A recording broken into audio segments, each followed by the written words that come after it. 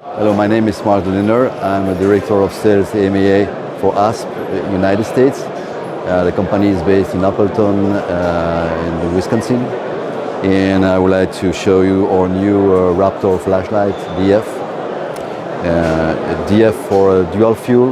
That means we use two type of battery, rechargeable, where we have a new slot, USB-C.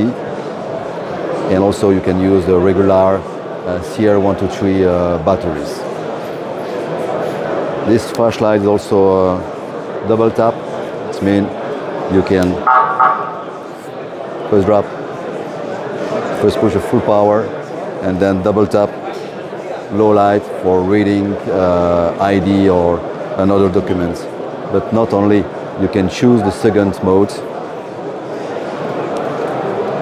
So we have uh, 15 lumens, 30 lumens, and strobe. As a second uh, option.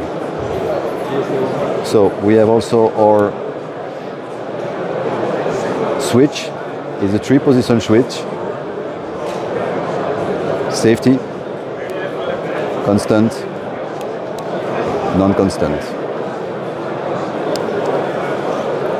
We have also a USB plug on the flashlight so you can recharge the battery from the light or directly to the battery. We have a clip.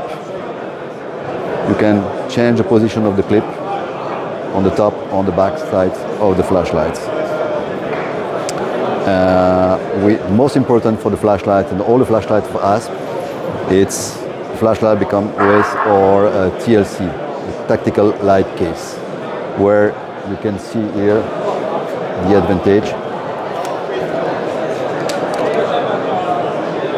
Police officer can aim uh, the subject and still have two, two hands to work on the subject.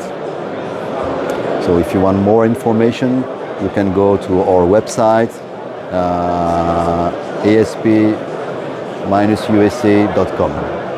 Thank you.